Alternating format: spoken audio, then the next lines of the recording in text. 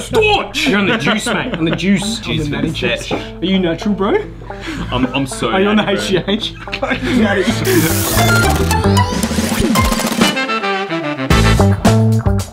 Alright guys, welcome back to a brand new year. And if you haven't already noticed, we're shooting from a bit of a different angle. We decided to, to change things up a little bit. You know, change is as good as a holiday uh, because we didn't really get one in 2021 nor 2022 so far. Uh, now, of course, if you are a fan of the channel, uh, we would uh, absolutely appreciate a subscribe or even just a like. It does help with the YouTube algorithm. And of course, if you were just stumbling across this show for the first time ever and you think I'm just rambling on for way too long, I would agree with you. But you should know that we're trying to become the world's most inclusive community of wine lovers. And this is a blind tasting show, so I'm gonna shut up and we're gonna get straight to it. Alrighty, we're back. Uh, another week, another six wine. wine, wine, wine, wine, wine, wine.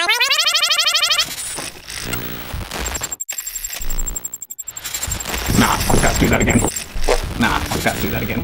G'day guys, my name's Aaron. Called up today to taste some wine, blind taste some wine for the guys at uh, Blind Wine. I work for Applewood Distillery and I sell OKAR and gin, so my wine knowledge, not that great. My spirits knowledge, kind of okay. Let's get into it.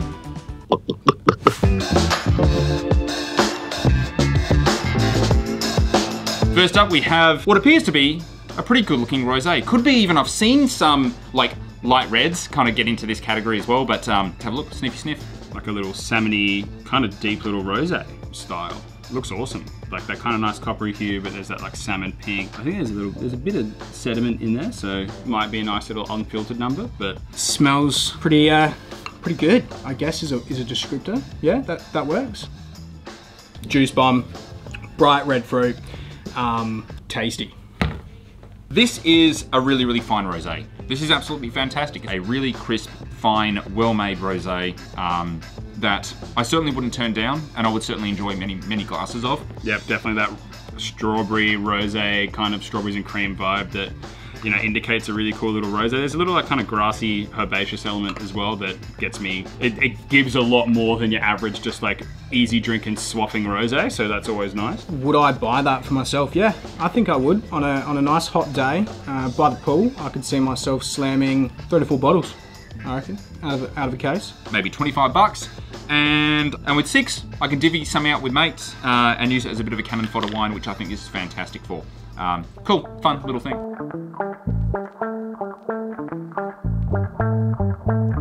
Numero dos. Looks like basically the same vibe, but it's just a, sh- a shade darker. A bit funkier, a lot funkier. It's very um almost barnyard funk.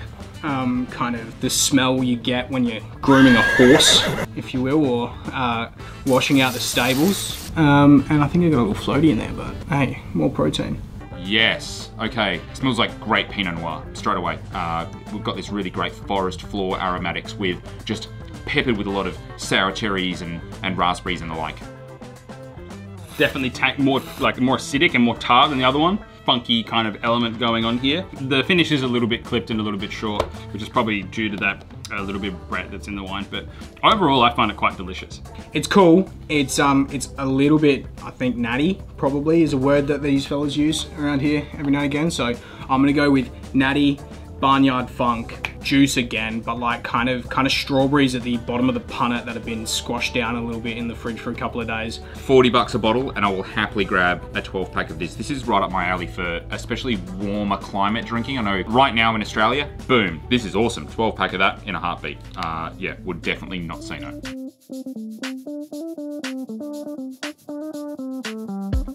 Wine number three. So we've got a we've got a nice little nice little white wine. This is a little bit more within my realm. And it's actually got uh, a small amount of frizzante there, so I'm not too sure whether it's sparkling or not, but there's definitely a little bit of residual carbon dioxide. You know, it's almost something, maybe it's like a word association thing that when you get a really, really good Riesling, um, you know, it feels like the world is sparkling. and this smells like utterly insane Riesling. smells like high quality Riesling. Got that cool lanolin kind of uh, expression, but yeah, it's nice and citrusy and sea salty and like very like lime zest and oh yeah. Now, is it against the law to drink here, or do we have to? No, cool, because that's tasty. I'm having more of that.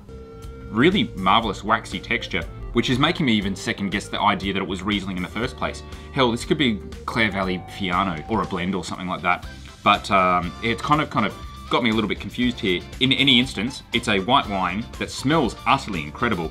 Yeah, delicious. Really nice, kind of crisp yet really rounded um, stone fruits from that. And bottle wise, I'd buy a case. For sure, I'd buy a case of that. Super, super tasty. I think you should have at least a dozen of that in your cellar because this is one you want to crack on. You want to crack this open like every year, really. Um, but a wine like this could go for decades, and it's just that perfectly made. It is.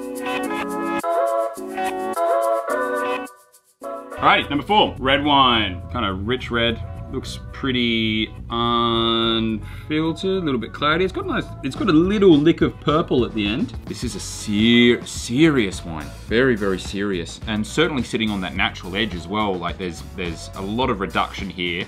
And it's kind of almost got me already into, um, oh, could be really good Gamay. Yeah, like ripe raspberries and strawberries and a little bit of kind of chocolatey kind of thing. Or it's a little bit mousy. It's a little bit like, um, as Brendan says, puppy breath right at the back. Um, no, tasty, tasty, tasty boy. It is a little bit not mousy. I don't want to say mousy because um, I don't believe I've got the palate to to judge whether or not something's mousy. But um, that reminds me that like that finish reminds me of like Nutrigrain, but like think like you know those Nutrigrain kernels that you get at the bottom of the bag, the ones that have like been a little bit over roasted. But it has that tannin, then I'm gonna stick a pin in it. I think it's the same, stick a pin in it, stick a feather in it, stick a feather in your cap. Put a feather in your cap and stick a pin in it. Acidity's great. The tannin profile is awesome. I love the the really eclectic profile of fruit that you're getting on the palate as well. Yeah, it is a shame about that little taste of mouse, but oh well. I think it's part and parcel with this styles of wines, and you just kind of got to accept it for what it is, and I accept this for what it is. Uh, yeah, half a dozen bottles for me. I reckon that's pretty good.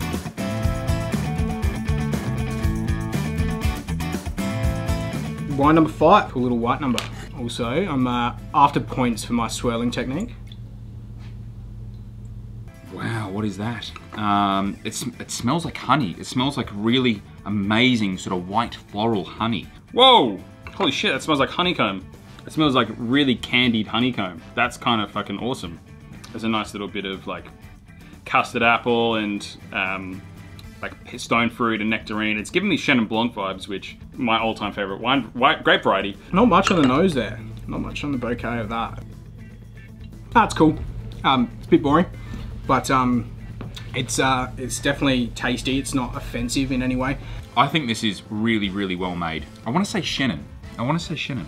So I'm, I've, I've just tasted this thing three times because it's actually thrown me for six. I thought it was Chardonnay, then I thought it was Shannon, and now I think it's like Muscadet. Down the line, non-offensive.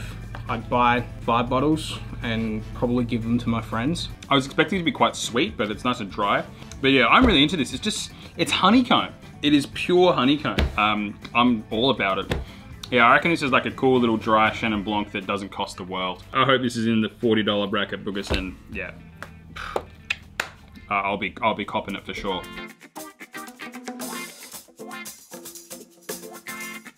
All right, wine number six. Cool, another white wine. Um, as you can tell from the color. It smells like white florals, like white frangipani, probably uh, an aromatic yeast of sorts that's been used here, but let's call it modern day winemaking, more uh, conventional style winemaking, but uh, done very well, very pristine. Okay, cool. A little bit more going on in this compared to wine number five on the bouquet. It's got my attention.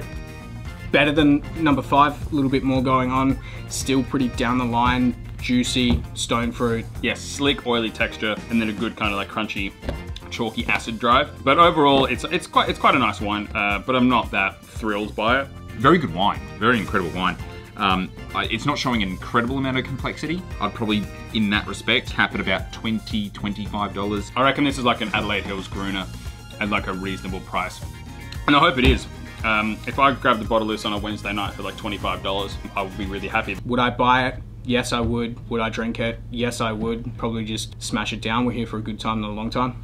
Uh, let's see what the boys think about these. I reckon we've got a pretty big shopping cart. First six wines in the studio for the year. Woo! Um, what do we think? Uh, I had a lot of fun.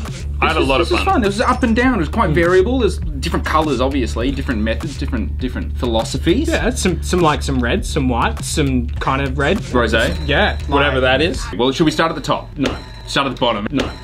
A rosé. Yes. Pretty good rosé. I liked it a lot. It's not I, bad. I Yeah. really, really liked it. That was cool. That was cool. I wrote my tasting note for that was tasty. Excellent. Yeah. I agree with you. Yeah. Um, All right. So what what what have we got, Lockie? Okay, cool. What do we got? We got a new new way of revealing. So this is going to be interesting. Oh, wow. Okay. It's a Touraine. yeah, sick. Grolleau Pinot Noir Gamay blend. Ooh, this is foo foo. I, I had, I literally had this wine a few weeks ago, and I didn't enjoy it as much as I did today, um, which is really interesting because that's 15% alcohol.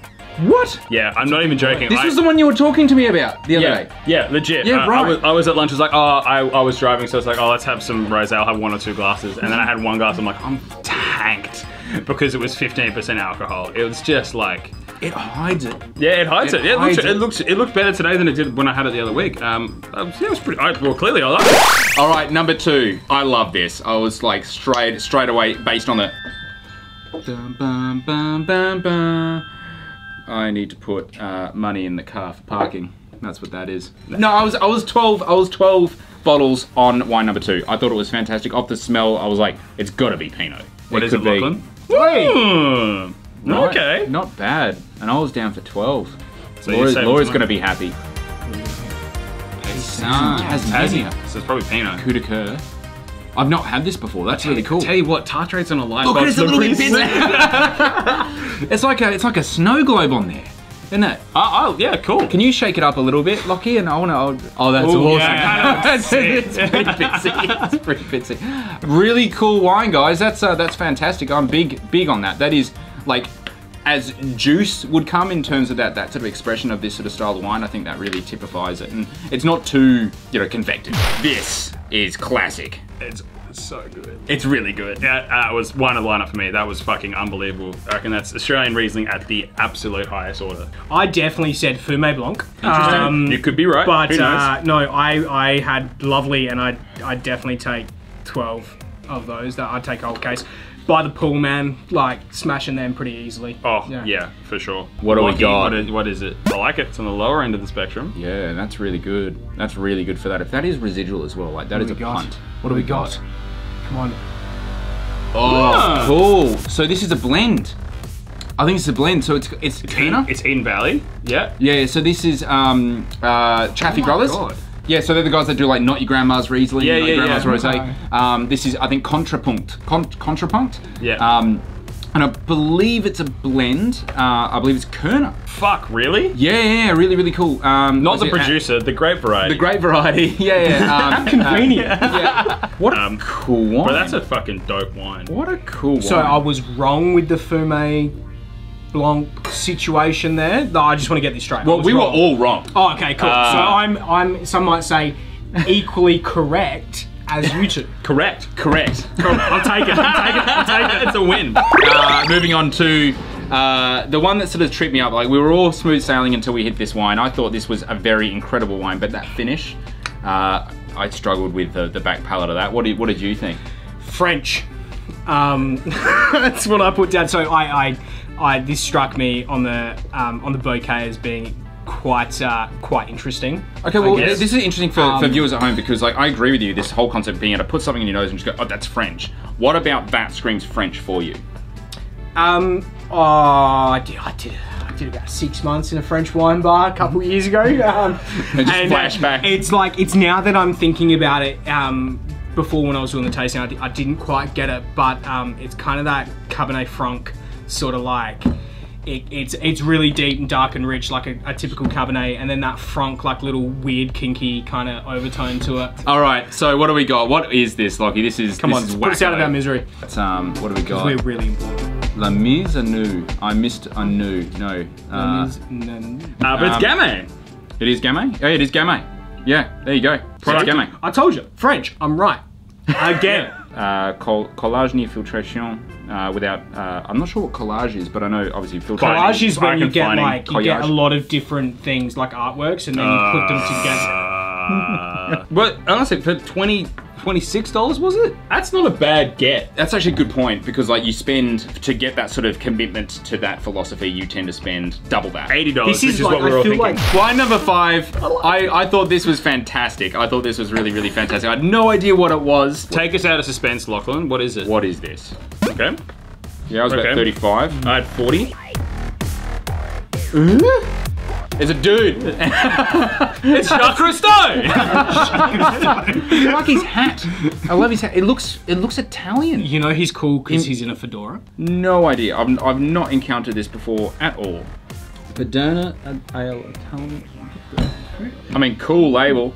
Um, and cool wine. um, yeah, honestly, if you were to walk into a, um, a wine store blindfolded and just grab whatever you could get your hands on first, it's probably not a bad thing to take home. It's definitely interesting. It's fun. Um, cool. And you drink it all. Yeah. All right, uh, and the last one, which you can't taste because uh, obviously we all enjoyed it very much. I think Aaron enjoyed it most of the I Did I liked it? I liked it a lot. What is Reveal. this? What is this? Cool. 20 bucks? Cool. Great, Yeah. excellent. Awesome, awesome, awesome. This- any any pub list needs this. Yalumba. Dude, Viognier, called it. Called it. Wow. Good on him. Wait, no, that was the last one you That called. was the last one. That was the last one. One of these was Viognier. I tell you what, though, like the fact that, you know, say that sort of one on a pub list. If I read that on a list, I probably would gloss over it because I would be expecting it to be so much more voluptuous. Yeah, I'd be exactly. So much richer and denser. If you had quite the opportunity to chat with your bartender and they they poured Yeah. you a tasting of that, I think I'd be. Oh yeah. I'd, I'd, I'd be like, sick, cool, done. Yep. Yeah, I would be of pretty. I'd be pretty happy with um with charging through that whole thing. And of course, Yalumba, like hardcore Viognier, like, you know, producers. Uh, and on that note, um, Aaron, thank you for joining us. Noah, thank you very much for um, Continuing uh, to be him. Yep. and you guys, thank you at home for chiming in. Until next week, we'll be here. When am I getting paid for this?